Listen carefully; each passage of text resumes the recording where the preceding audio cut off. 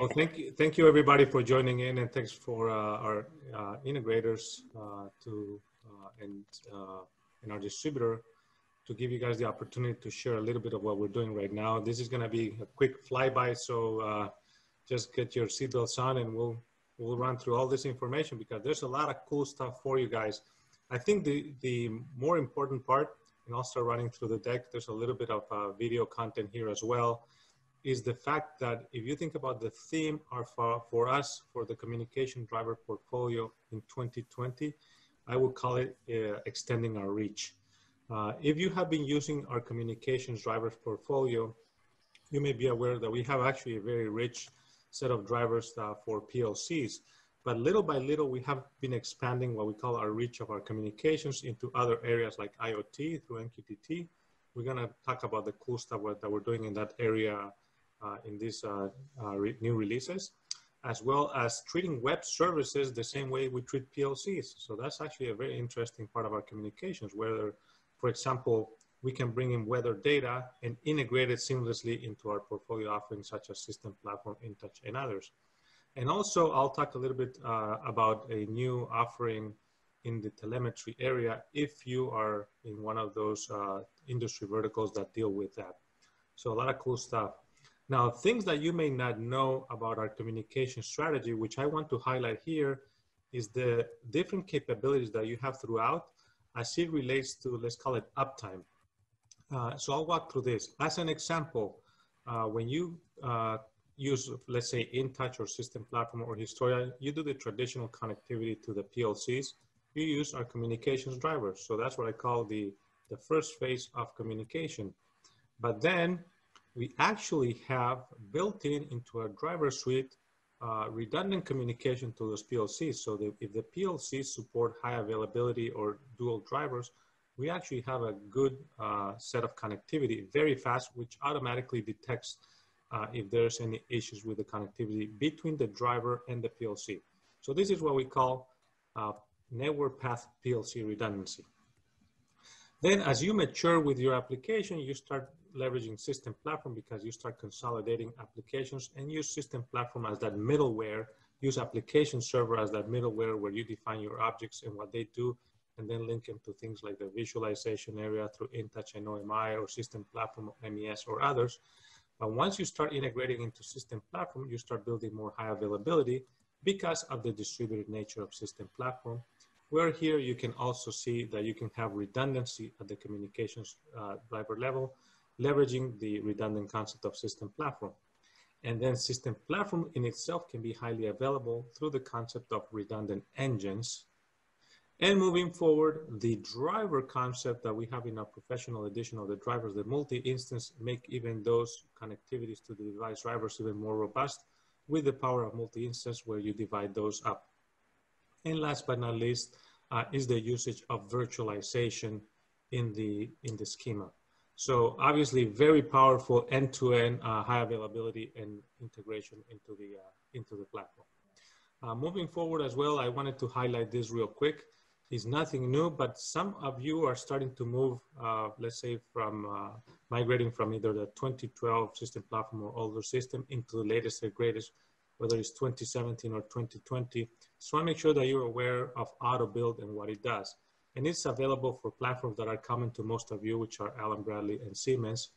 And basically, I'll run through a video here that uh, walks through auto build. Uh, when we create the communication with our uh, OI server into the PLC, we actually know the entire structure of that PLC. And this is very uh, obviously with the Siemens driver and the Logix drivers that are hierarchical in nature, we know all that hierarchy. So why not leverage that information from the PLC to create the templates and the instances in application server automatically so you don't have to do that work manually. And if you're not familiar with system platform, actually this is a great teaching tool because it automatically builds the structure for you and then you learn the best practices of how to create that integration.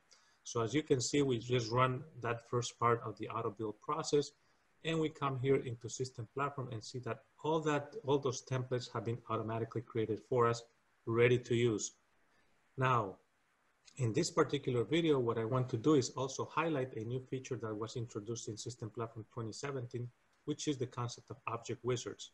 Now, in this concept, we can actually create templates with options. Uh, so here I'm using uh, the example to create a concentrator set and a transfer set that will become optional equipment. What this means is that not all equipment in the field may have those options. So as you create those instances, you can turn some of those options on and off. So now we'll run the auto build process again, select those instances from the PLC and uh, run through the uh, building process. You can see that it's a very, very simple workflow. So you can actually start playing with it uh, to, again, to learn the power of it. And uh, uh, sure enough, once you bring those in instances into your application, now they have the capabilities of object wizards where now you can select those options into the PLCs and you don't have to have a very rich set of attributes going into runtime that perhaps you're not using. So just key capabilities that again with System Platform 2017 and 2020 are available. Auto build. Uh, so if you were not aware of it, you can talk to uh, Mike and uh, Kelly and Tim to get more information on that. Uh, moving forward, now let's switch over to what we have in 20 new for 2020. Remember that this, the theme of 2020 is expanding our reach and OPC UA is becoming part of that. We have already OPC UA client tools in our portfolio. And um, one of the things that I wanna make sure that you uh, are aware of uh, right now that we did in our portfolio in 2017 update three is the introduction of secure communication between our portfolio. Security has become more and more important. So our traditional connections, our built-in native connections like SuiteLink, MS, MX, and iData, which are part of system platform, are now secured uh, since 2017 update 3. Now, in, terms of adding the OPC UA server capabilities to our portfolio, we took a, a bit of a different approach. Instead of making it separate by product, we built it into our platform itself. That way, any component in our, in our portfolio can become an OPC UA server. There is, there is work for each product to do to become an OPC UA server. Um, the first one in the list to uh, have done this is uh, App Server. And um, so we added secure connectivity and exposing the data from App Server. Let's take a quick look at an example here of uh, what we'd have done with OPC UA server. I'm actually using a third-party tool here, OPC Expert, which is kind of neat. Uh, it's an OPC UA client. So what we have done here is connect to application server that has been enabled to be an OPC UA server. And you notice here that I am I'm actually browsing the app server namespace. OPC Expert uh, then has some plugins into Excel. There, you know, it's a simple uh, tool. Uh, it has some neat capabilities, so you can just drag and drop the data into Excel and start pulling data in there. Um, it's a simple example, but it shows you the capability of extracting data from system platform. Perhaps if you're outside that operations um, section of the plant, you, you may be more in the business side of the plant instead of being in the uh, that part of the plant. So OPC UA server available with application server, and we will add, be adding more uh, as we move along. Let's now speak about telemetry. Now, telemetry is something that has existed in our industry for many years. We just haven't had internally a driver suite for telemetry. If you work in some of these areas, you will recognize what I'm talking about. Let's say power distribution, water, wastewater, or oil and gas midstream. Uh, there's some, some typical standards that are used in this industry to transmit the data from those geographical locations into our system. So you always want to bring the data uh, in into your SCADA system for monitoring control purposes. Uh, the protocols of DNP3 and Modbus have been uh, very typical standards in this industry. And in Europe, one of those protocols is the IEC, IEC 60870. Very similar to the DNP3 protocol, but uh, they just use geographically in different places. Last year, we actually introduced the te telemetry server uh, portfolio into our market. Uh, we actually adapted uh, the components from some of the uh, one of the other uh, uh, portfolio offerings and made it a, a driver suite. Extremely mature, although it's new for our market, it has been in the in our industry for many years. So as you can see, it has many, many capabilities, very powerful. I want to uh, show you here very quickly some highlights of what is the difference be between our traditional connectivity. Why am I differentiating telemetry from uh, what we call the supervisory connections, which are OI servers. Uh, supervisory connections, think about connection to a PLC. They're expected to be connected all the time and talking very fast to the PLCs. On the other hand, telemetry server connections are intermittent. They're long networks, geographically distributed hundreds or thousands of uh, miles. So the OI server is expected to be light data, whereas the telemetry server is mostly expected to be what we call late data. It'll come at some point later. OI servers give you continuous data, and telemetry server will package the data, which it stores in the remote terminal units, the RTUs, buffers it, and sends that packet to the software to be processed. And obviously the connectivity on one is connected all the time, where the, as the other one is expected to be disconnected. And telemetry typically has to use scheduling to take advantage of those low bandwidth architectures. Now, since this is new, what we have done actually as part of the delivery of the software, we have created starter sample projects. So I'm showing you here that doesn't matter the uh, protocols that you pick, we actually created those sample starter projects for you so you can get a template uh, and they have, if, if, we were to drill down through the whole suite, the whole set of uh, uh, objects that represent the devices in the field, depending on the connectivity that you're using, whether it's uh, connected, radio, or uh, serial. All right. Uh, and the other part that I'm going to show here is telemetry server. We're leveraging the natural connectivity of system platform. So quick example is how I'm connecting one of the IEC devices using telemetry server, using um, monitoring here in an analog and a discrete point we're monitoring the values live, and then we can show in system platform, in this case in object viewer, how the data is coming in. Now, important part here to mention is that um, telemetry server has also uh, other capabilities such as, as, integrated to system platforms. So I don't have to use the traditional DI objects for those. It's just naturally integrated very simple syntax, you, you already have are used to some of the syntax, which is the device, the group, and then the alias. So not much of that changes. I'll skip through some of this, which is a lot of information in very little time. And um, letting you also know that in our GCS site, if you go and take a look at telemetry server, we have the entire online documentation there. So you don't have to download and install the product. You can actually see all the uh, help docs in it for uh, the entire product set.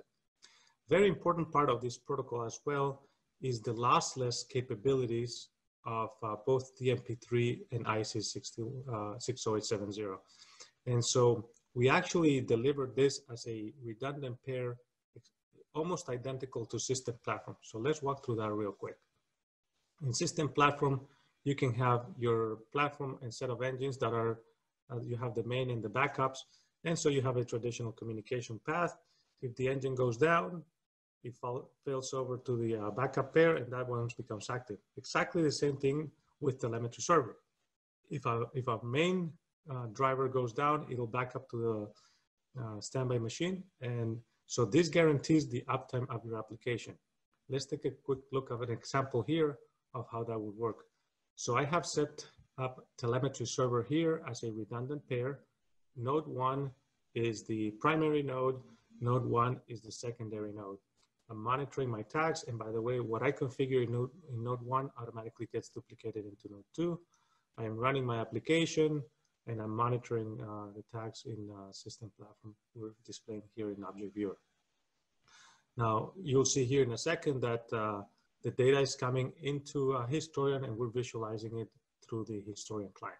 And so here's the data coming in. Now what we're gonna do is we're actually to shut down the main node. And we'll see here on the right-hand side at the bottom of the screen that we're to shut down that guy, uh, let's say for maintenance purposes. Now, because of the nature of DNP3 and IEC, as well as telemetry server, it buffers the data uh, internally. So we will not lose data. You saw here that the, the tags are bad. The historian client flattened out because it's not receiving any new data anymore. And now the communication was reestablished by uh, the, the secondary node coming up. Now we would expect there to be lost data loss here, but by the power of telemetry server, uh, you see here that we didn't lose any data in this uh, fallback. So very important part of the strategy with the, these drivers, especially in those industries that require support for this. So moving forward, uh, in some of the more uh, elaborate architectures, there's what we call the master-slave architectures, where in typical cases, telemetry server is communicating directly to those remote terminal units in the field, and then to the devices themselves, bringing the data into system platform. In much larger applications, uh, applications, there's actually this tiering concept where at the bottom, uh, there can be multiple levels where the telemetry server is acting as a master to the remote terminal units, and then also as a slave into another master. So this is more for things like this, where I'm showing here the city of Rome, and within the city of Rome, there's uh, districts, and with the districts, there's regions. So you can have local control rooms, regional, and central. So very powerful set of uh, uh, functionality. Also the concept of templatization as we have in system platform. And uh, I'll put this here for you. You can get the information later on as you can uh, slowly dig, dig, through it, but a lot of rich capabilities in those uh, telemetry uh, driven protocols. Very important as well is we have created a, a specific YouTube playlist in our channel dedicated to telemetry server with really short videos, as you can see here in the screen, which are topical in nature and will help you uh, get going through your application so you're not uh, left alone as, as this is uh, new to a lot of you. All right, I'm blazing through all this information. Now we will jump out through the uh, IoT segment, which is uh, in our particular case, let's focus on MQTT. We have had an MQTT offering in our market for a while now, but we're strengthening that market in several areas, uh, strengthening that offering in, in several areas. Uh, one of them being the uh, specification uh, from the Eclipse Foundation. You may also have heard about this specification called Sparkplug. This is really the industrial specification of MQTT. The goal here is really to standardize the usage in industrial environments so that every, every vendor in the industry can understand uh, automatically anything uh, related to that. So let's take an example here of uh, a wind, wind turbine, right? The wind turbine out in the field, there can be thousands of them. They're going to be connected and collecting data locally to some either transmitters or PLC RTUs. In this particular case, we want to use a gateway, a data concentrator to connect to that turbine. In this case, we're using AVEVA Edge.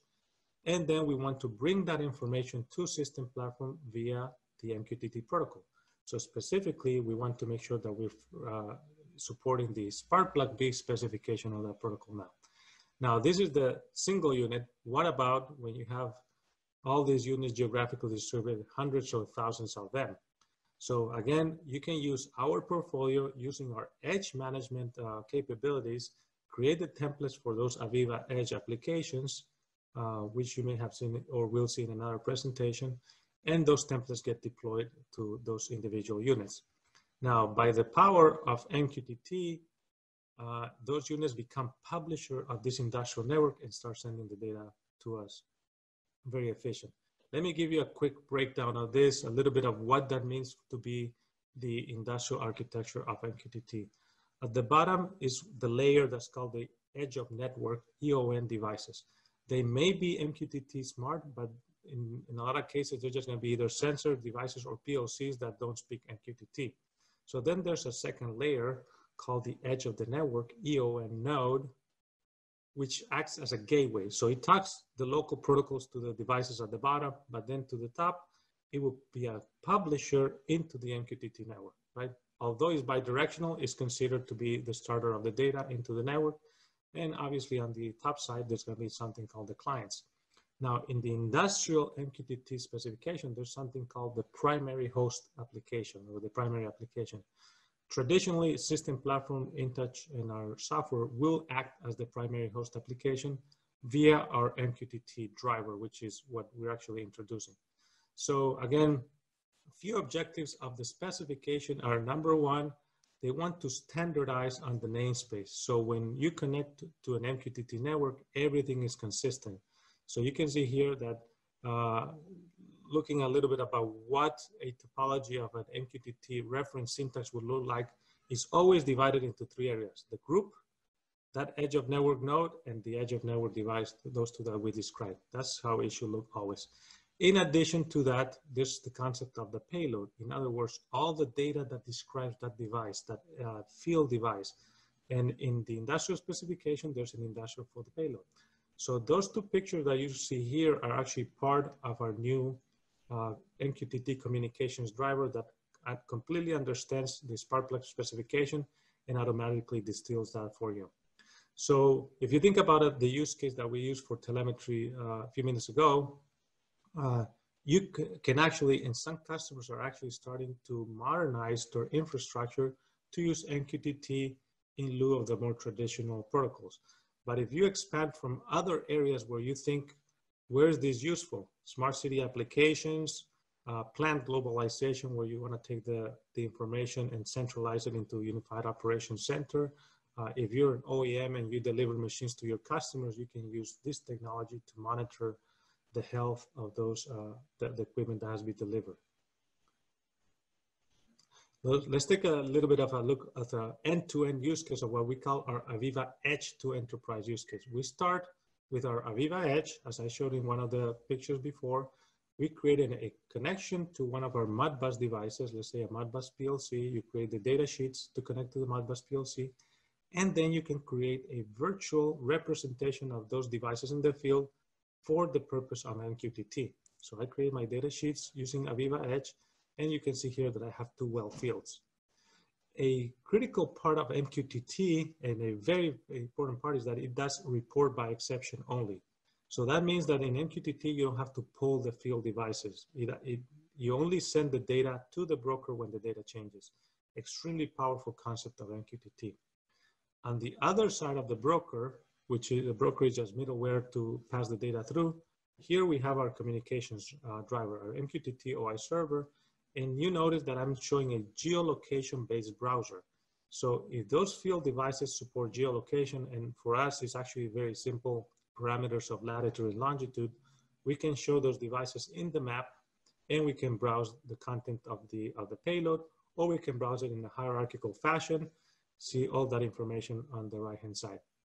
Now, this makes for a very simple and uh, powerful integration with system platform because again, it's based on that hierarchical concept. So those groups and edge of network nodes become represented devices in system platforms such as areas, engine, device integration objects, and, uh, and objects themselves.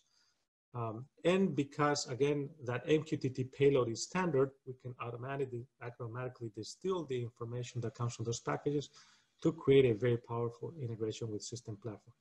Then adding the concept of object wizards that I mentioned earlier, once you start building your very robust applications, you can add the graphics capabilities. So as the devices get added to your implementation, you don't have to do too much work or any work at all to bring it into your, into your uh, graphics and OMI. So that's the concept of edge to enterprise. As you can see, very powerful and uh, very seamless. And just to wrap it up, uh, I think we're doing uh, good on time. Uh, let me walk you through, through, through the commercial offerings. Our communications drivers uh, sometimes are packaged uh, with uh, other parts of our offerings, but you can also get them standalone. Um, we actually have the concept of unlicensed where you have very, very small applications, really less than 32 tags, but in the case of IoT, for example, uh, you may want to bring that information into system platform. So we don't want to make it cost prohibitive. So if, you, if your application is a small IoT device, up to 32 tags, uh, it's unlicensed. Um, so just keep that in mind. Then we have the standard license offering, which is our traditional single node offering, all the drivers there. There's no, there's no re real limits per driver, no tag limits. It's just you, ha you have the capability to use all our drivers in our suite there. Then moving on to the professional license, this is where we have added a, a few of the functional capabilities to the suite, uh, which includes uh, the concept of multi-instance, which now you're dividing all those connections from a single driver into unique connections for the purpose of uh, stability, performance, and robustness, as well as the multi-version, which is uh, helps you transition from older versions. And last but not least, the concept of auto build that requires a professional license. And uh, the, the premier offering is really the telemetry server offering, which includes the professional uh, offerings in themselves, um, as well as the telemetry server stack. And this uh, premier license is actually redundant by nature. So you get actually two licenses into one. All right, so that was my uh, quick run through of uh, the few the few things that are we doing in uh, 2020 here.